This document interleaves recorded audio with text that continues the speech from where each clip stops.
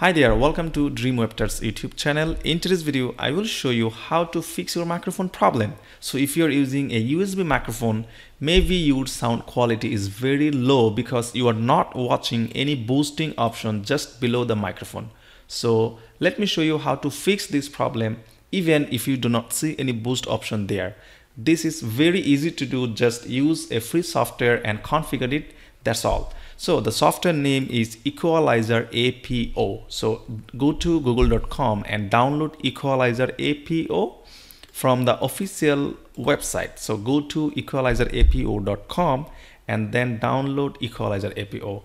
So after download this software, you need to configure this okay so go to start menu and configuration editor equalizer apo configuration editor so after going to uh, this software it will ask you to configure your device. So if you are using any microphone you need to configure it okay? So go to capture device not playback device okay? Go to capture device and select your microphone that you are using to record your voice. So i'm using atr usb microphone and you can see here i have already configured it so so i am just closing this window and then this one is the configuration panel okay? I'm using this microphone. I am using this microphone to increase my sound quality.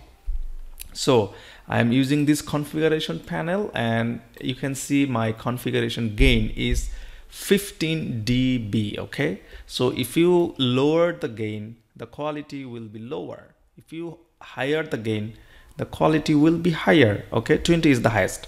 So 15 is good for me. I am placing 15 because it's working for me.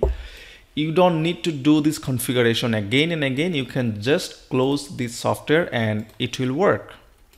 Go to configuration editor click. This message can appear every time but don't be worried okay? Click no and if you would like to uh, completely close the function of this software you can just click this power button okay? If I close this the quality will be very very low. So if I on this if I click on now the quality is okay. So this is how you can fix this problem. You don't need to configure this again and again. Just go to equalizer APO website download it and just configure it your microphone sound will be higher and there are many other options that you can work with this that you can work with this equalizer APO software but I am leaving all of them I have just fixed your microphone volume recording problem. That's all for guys. That's all for today. I will I will keep posting new videos. So don't forget to subscribe my YouTube channel Dream Web and don't forget to hit the like button. Have a great day. Bye.